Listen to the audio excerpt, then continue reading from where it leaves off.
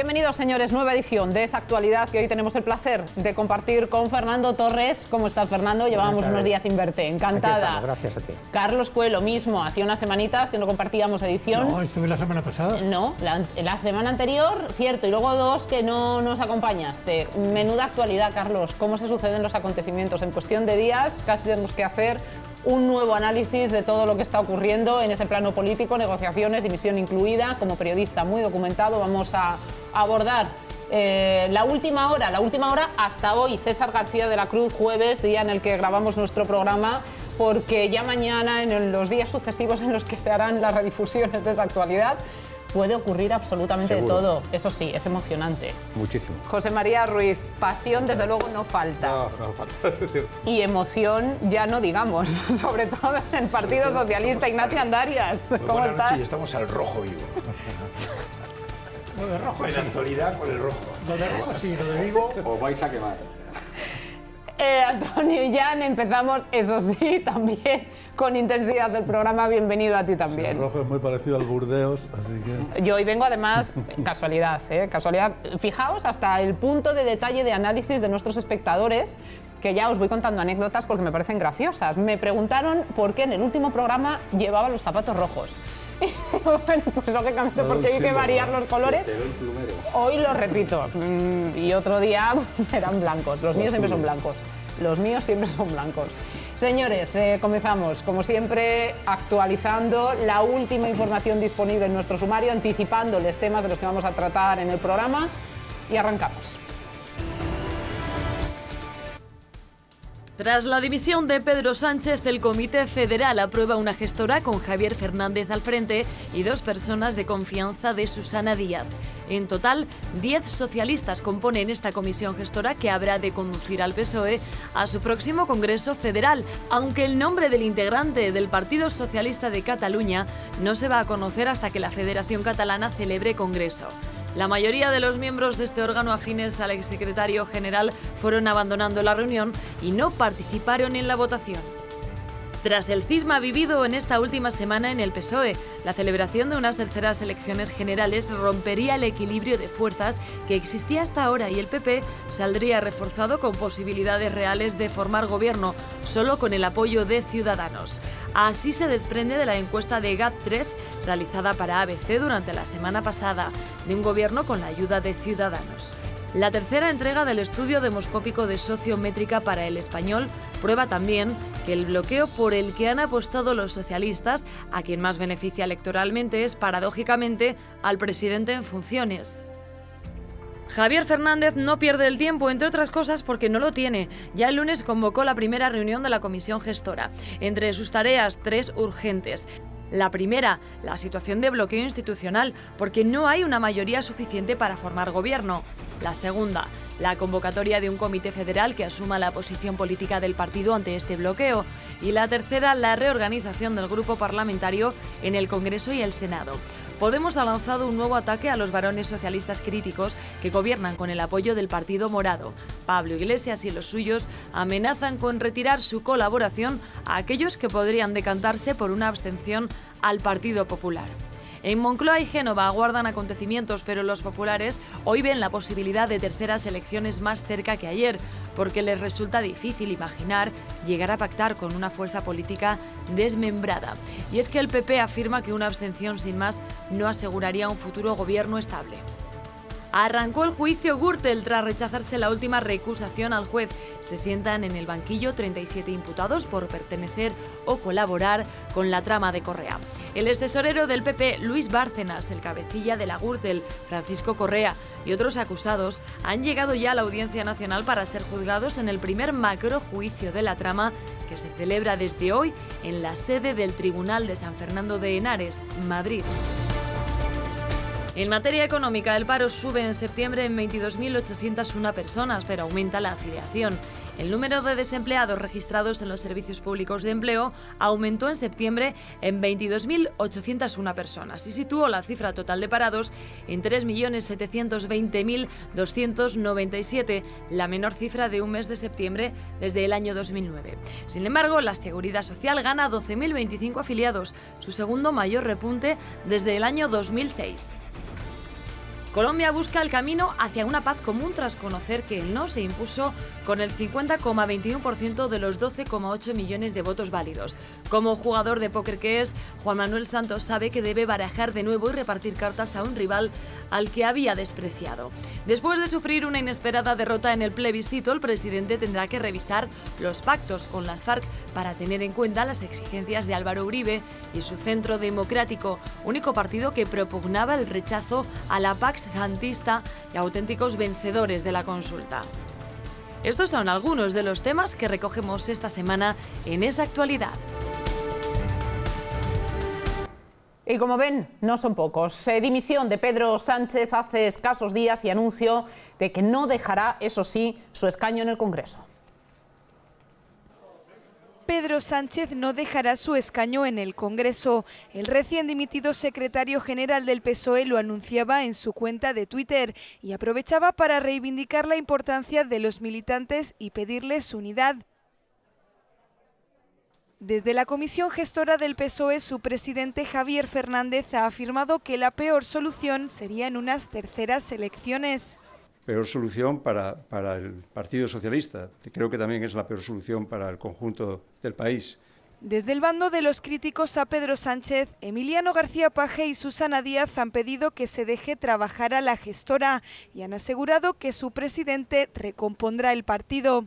Dejar que actúe la comisión gestora que representa a todos los socialistas. Javier Fernández tiene una capacidad sobrada, trayectoria y honradez como para poder, eh, para poder hacer el, componer el puzzle. Pero desde la oposición ven esta ruptura interna del Partido Socialista con preocupación. Lo que nos preocupa a la ejecutiva de Podemos es mmm, que lo que haya ocurrido el sábado acabe facilitando un gobierno de Partido Popular. No creo yo que el PSOE haya hecho todo esto simplemente para ver quién es el secretario general del PSOE. Aquí lo importante es si España se pone en marcha o no se pone en marcha. El motivo que ha llevado a los amotinados a ir contra Pedro Sánchez no es otro que evitar la posibilidad de que la izquierda tuviera influencia en las decisiones políticas y económicas del futuro de nuestro país. Desde el Partido Popular, el presidente del Gobierno en funciones, Mariano Rajoy, ha querido felicitar a Javier Fernández por su nombramiento al frente de la gestora, una llamada telefónica en la que ambos dirigentes han acordado mantener el contacto. Como siempre, repasamos también titulares de la prensa que recogían estos importantes acontecimientos que han dado un vuelco no solamente a la situación interna del Partido Socialista, sino a todas esas negociaciones, los pasos, los diálogos que se estaban estableciendo de cara al intento de formar un gobierno y, por tanto, eh, no llegar a esas indeseadas, entiendo para todos, eh, terceras elecciones. Vamos, eh, por tanto, a recoger algunas primeras páginas de los diarios más relevantes. El País hace escasos días titulaba así su portada, Pedro Sánchez dimite y deja un PSOE más dividido y derrotado. Para ABC, un PSOE devastado, llega a decir no a Sánchez. El mundo, los críticos tumban a Sánchez en un bochornoso comité federal. El Partido Socialista Echa a Sánchez. Esa era la frase de La Razón. El secretario general, según el mismo diario, dimite tras perder la votación en un caótico comité federal por 132 votos en contra y 107 a favor. La vanguardia, Sánchez dimite y los varones se imponen en un partido socialista roto.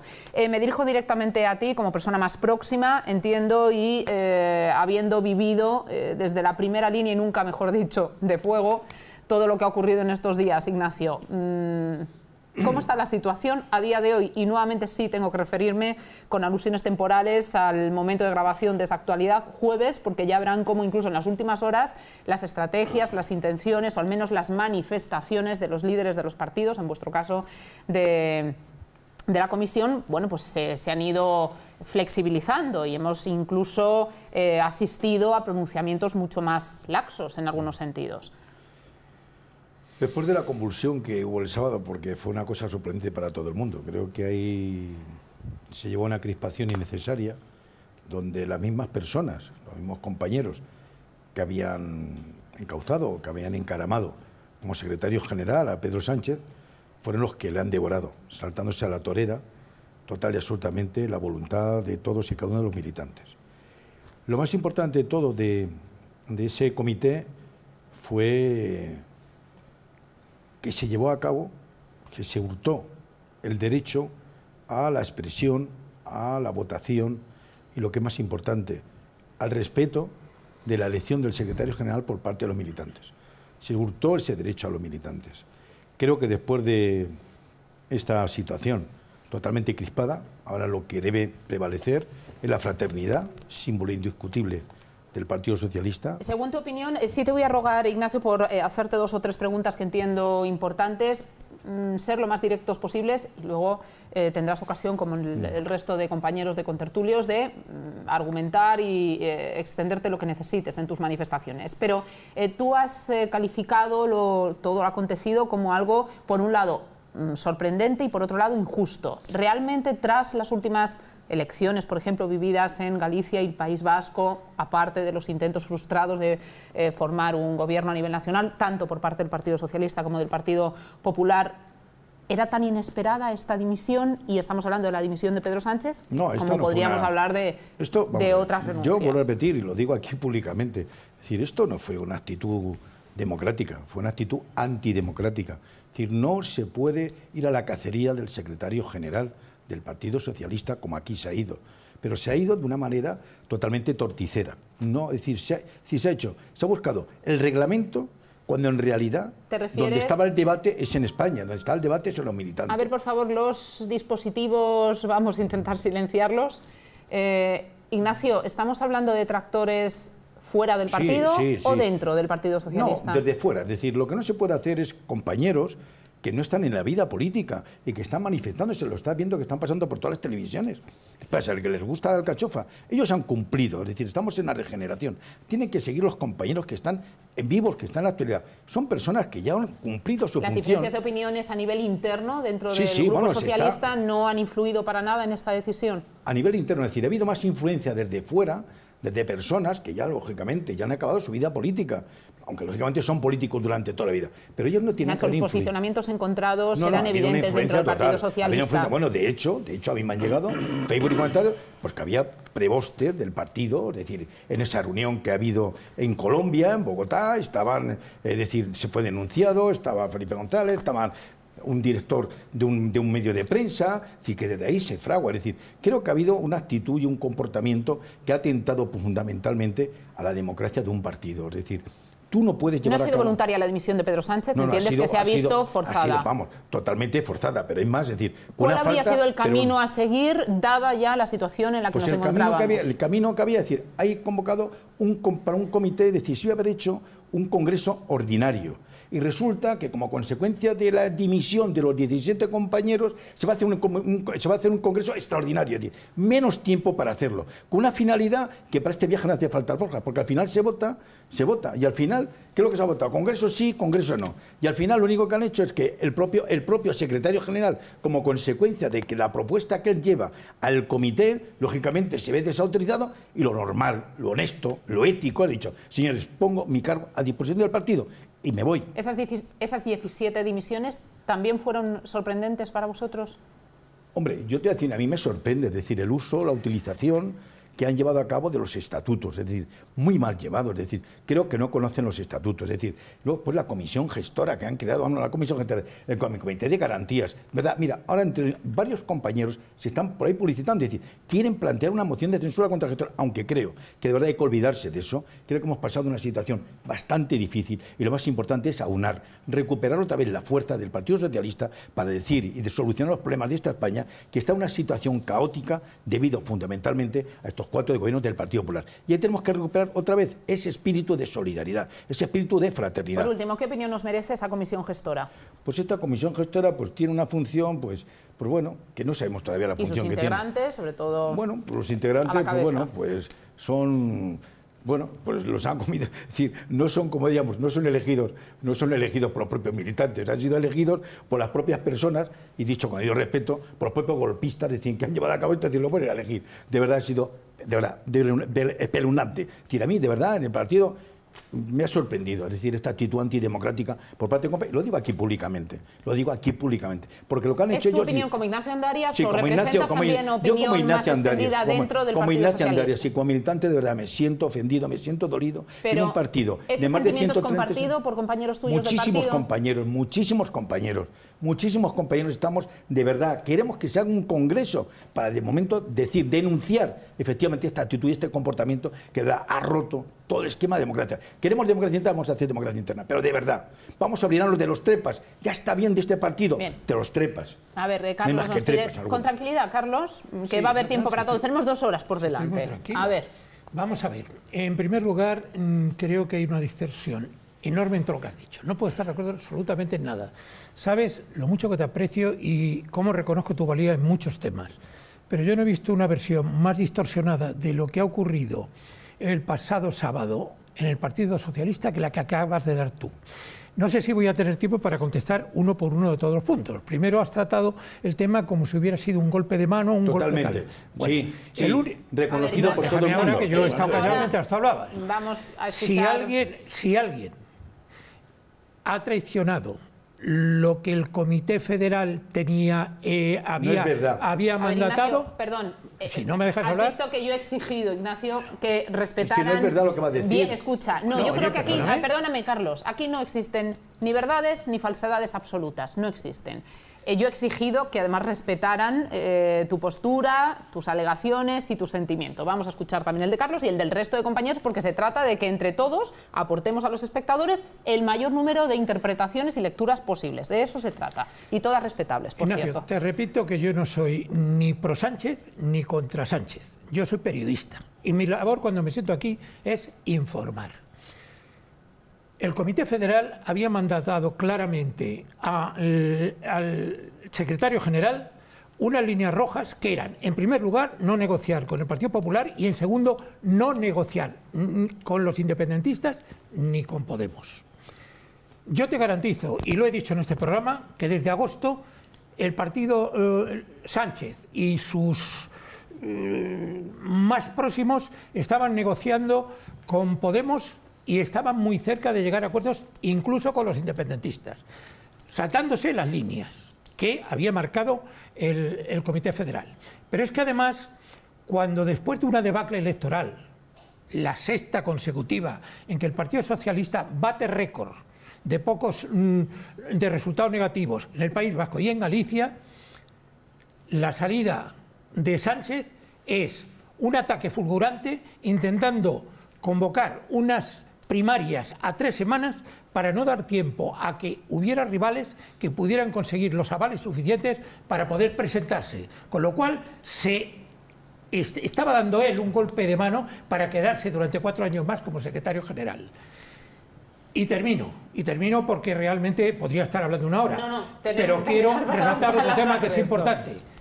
Los críticos han sabido embridar el golpe que estaba dando Ignacio. Sánchez y, de hecho, nos han librado a todos los españoles, mejor dicho, a los votantes del Partido Popular, a los votantes de Ciudadanos y a más de la mitad de los votantes del Partido Socialista de lo que Rubalcaba llamó el gobierno Frankenstein, porque esa amenaza sí que ha desaparecido definitivamente.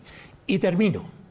En cuanto a lo que tú has dicho, de que se ha impedido votar a las bases sobre un secretario general, lo que había detrás, esas urnas que se pusieron detrás del telón en el Partido Socialista, y yo estaba en la calle Ferraz, esas urnas eran un auténtico pucherazo. Y no solamente lo han dicho los críticos, tú eres muy amigo y crees mucho en Fernández Tapias. Fernández Tapias abandonó la sede del Partido Socialista en desacuerdo con esa votación extraña, sin ninguna garantía, que querían efectuar en un biombo, en en unas urnas que estaban detrás de un biombo. Realmente, si alguien Carlos, concluye. se ha favor. pasado las líneas, para mí ha sido Sánchez. Y tenemos, perdón, Ignacio, vamos a hacer una cosa. Yo entiendo que vas a querer eh, dar réplica a más de una opinión. Vamos a escuchar al resto de compañeros y, si os parece, luego ya matizáis lo que queráis. A ver, mm, ¿alguna Sí, bueno, yo creo que ¿Alguna el, visión el- el diferente? asunto es bastante más general que el esperpento que se monta una organización un sábado por la mañana que se alarga hasta altas horas de la noche. Entre otras cosas porque yo creo que se, yo estoy demandando como ciudadano de a pie un poco de transparencia, porque a mí, después de todo este follón, desde las elecciones para acá, eh, hoy no tengo absolutamente nada claro. Porque si se monta un movimiento dentro del Partido Socialista para mm, evitar, como dice Carlos, que su dirección haga una intentona de formar un gobierno de izquierdas, que era el único posible, puesto que el no es no, si no queremos a Rajoy y no queremos terceras elecciones, la única posibilidad real era indagar a ver si era posible hacer un gobierno con Podemos y con otras fuerzas políticas de España. Si eso no, no, no, no hay líneas rojas, era la única posibilidad. Si eso es lo que se trata de abortar, pues bien, eh, quedaría eh, que se definieran, como han pedido Borrell y otra serie de gente, pues si tienen una postura abstencionista o si no se tiene una postura abstencionista de cara al gobierno de Rajoy. Y a día de hoy, y a día de hoy, lo que yo no veo, eh, porque no veo es que el PSOE actual de la gestora tenga una postura abstencionista, porque incluso los que cambiaron al secretario general, hay algunos que están diciendo que, el no, eh, que hay que mantener el no a Rajoy. no sé cómo se come la cosa. Vamos a limitarnos en esta primera parte del programa a valorar lo que ha ocurrido con respecto a esa dimisión, formación de la comisión gestora, encrucijada en la que ahora mismo esa comisión se encuentra, porque no olvidemos que no solo tiene que sanear eh, un partido evidentemente fracturado y llevarlo a unas terceras elecciones o no, dependiendo de esos acuerdos que se vayan fraguando, porque en el resto del programa tendremos ocasión para ir eh, aproximándoles a las diferentes estrategias que yo creo que ahora sí se han perfilado de manera además un poco más clara en las últimas horas. De momento vamos a intentar analizar lo que ocurrió ese sábado, que innegablemente un momento de convulsión absoluta, eh, José María. Eh, yo, además, como, como, estoy cerca de la, de la sede, mi, despacho, la verdad es que eso estaba en un hervidero, un auténtico hervidero. Mm, vamos a ver, yo creo que en el, en el PSOE, después de mm, diferentes fracasos electorales, probablemente esos fracasos electorales, em, si lo vemos un poco de perspectiva, causados por el mismo PSOE, en tanto en cuanto hubo toda una corrupción que vino en fin, a anidar alrededor del PSOE, alguna de ellas realmente escandalosa, que ha propiciado que haya grupos de izquierdas que le vengan a, a igualar, incluso adelantar en algunas comunidades autónomas el número de votos pues esa, esa, situación eh, ha venido a provocar una, no una convulsión, sino mm, más que una convulsión lo que hace es venir a manifestar que hay dos grandes familias dentro del PSOE, una familia que es una familia que se encuentra dentro del sistema, que es una familia que se encuentra cómoda en las políticas liberales que existen en Europa con esas correcciones de tipo socialdemócrata que se vienen a realizar, pero que bueno, se vienen a enmarcar dentro de lo que es el sistema eh, occidental, y luego te encuentras otro PSOE que es un PSOE antisistema y, ese PSOE además es mayoritario dentro de la militancia, a mí no me cabe eh, la menor duda. Esa militancia, eh, que en la cual se quiere apoyar Pedro Sánchez, que no vería con malos ojos venirse a liar con un señor de Podemos que te está pidiendo unas políticas que vendrían a chocar eh, de una forma frontal con lo que es el sistema occidental tal y como está ahora mismo montado. En esas evidencias, incluso que tú además nos narras por esa proximidad de tu despacho a la sede del Partido Socialista en Ferraz, se llegaron incluso a plasmar en polémica con infiltrados incluso uso de Podemos en esa manifestación eh, que se convocó en las proximidades y con imágenes eh, que quedaron como la que vamos a ver. Eh, compañeros, vamos a, recuperar ahí lo tienen, esa pancarta que se exhibía en la manifestación. Los varones, no se lee con mucha claridad, pero entendemos los varones, Partido Socialista, son la mafia. Eh, es durísima. Eh, ese cartel es durísimo y por un lado... Pero no hace falta ser de Podemos, ¿eh? Mucha gente dentro del PSOE piensa así. Bueno, centrándome en lo que pasó el sábado, yo creo que lo del sábado fue algo bochornoso a nivel no solamente nacional, sino a nivel, internacional. O sea, yo sinceramente no, me cuesta creer que un secretario general que realmente quiere un partido y que quiere defender unas ideas, eh, lleve eh, a ese extremo a su propio partido, hasta el punto de que a fecha de hoy el partido está totalmente partido por la mitad. hay gente que está a favor del, del no es no, que era lo que Pedro Sánchez solamente se metió en la cabeza desde el día, eh, ya no en las elecciones de diciembre, sino en el cara a cara que ya planteó al señor Rajoy, que fue un cara a cara, bajo mi, mi- opinión, muy, eh, muy, de, muy, de, muy de barrio, muy de barrio eh, la actitud que tuvo Sánchez con el, con el candidato del, del Partido Popular, Mariano Rajoy.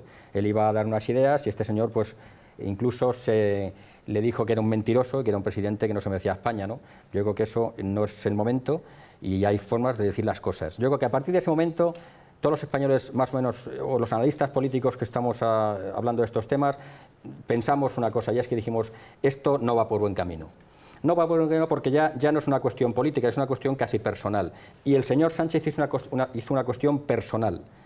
Insultó a un político, en este caso al presidente en funciones, de una forma eh, muy directa y eso no se puede permitir. Lo que pasó en Génova, o sea, perdón, lo que pasó ayer en, el, el sábado en la calle Ferraz, pues muy sencillo. Al final los varones, y no solamente los varones del Partido Popular, sino socialistas, Socialista. de, eh, socialistas de toda la vida. No vamos a poder ahora a poner en cuestión la palabra de Felipe González, o la del señor Alfonso Guerra, o la de Borrell, o la de Corcuera, que cuando estaban en activo todos los socialistas estabais locos por tenerlos alrededor y, y encima le aplaudíais. Por lo tanto, ahora no es, no es momento de decirles que son unos, mm, no sé, ¿cómo los llamáis ahora? Retrógrados. retrógrados, incluso cadáveres políticos, ¿no? Ellos, estos son señores que ante todo serán socialdemócratas, pero ante todo son nacionales, quieren la unidad nacional de España entera y un Partido Socialista completo, igual en Cataluña que en Málaga, que en Vigo. Y lo que no se puede permitir es que un señor, por su ego personal, y me refiero al señor Pedro Sánchez, lleve al Partido Socialista como lo ha llevado e intente pactar, y como bien dice Carlos, es la realidad, se salta la línea roja y quiere pactar con independentistas, con populistas de Podemos e incluso, e incluso ya estamos hablando incluso de- del señor Otegui. Eso, es, eso es inadmisible en un Nos país como tenemos España. que ir, pero Fernando, a la vuelta te escuchamos con el mismo tiempo para que no tengas tampoco la presión de la No, no hay pausa. problema, no hay y, eh, por supuesto, los que queráis responder a, a alusiones, eh, tendréis también ocasión. Eh, ahora mismo, volvemos.